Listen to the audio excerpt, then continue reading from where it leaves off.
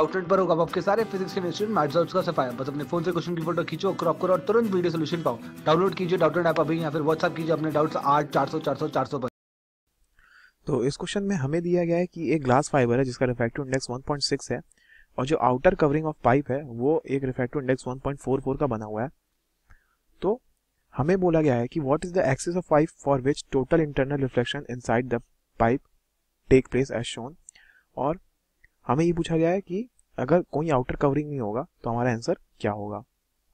तो इस क्वेश्चन में हमें दिया गया कि रिफ्रैक्टिव इंडेक्स जो है, अंदर वाले का 1.68 है और बाहर वाले का 1.4 है।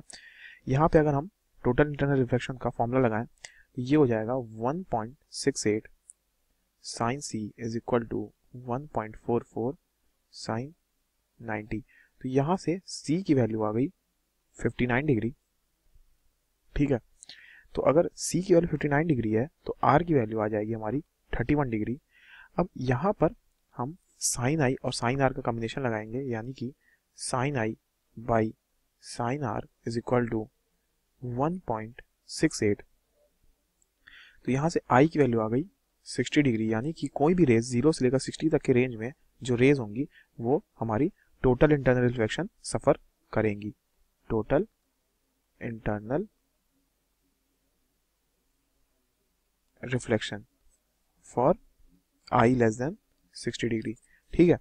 अब अगर हमें पूछा गया कि अगर कोई कवरिंग नहीं है बाहर तो तो हम एक बार आई को ले लेते हैं। आई को हम 90 डिग्री अगर ले लें तो आर की वैल्यू 36.5 डिग्री के आसपास आएगी। और इस आर के लिए जो सी आ जाएगा, वो आ जाएगा हमारा 53 डिग्री और हमें ऑलरेडी पता है, जब आई की वैल्यू 90 लिए थे तो आर 36.5 आया था, यानी कि जो क्रिटिकल एंगल है, वो हमारा 36.5 डिग्री है, यानी कि उससे ऑलरेडी ज़्यादा है ये एंगल तो हमेशा जो सी है, वो ग्रेटर देन क्रिटिकल एंगल ही होगा।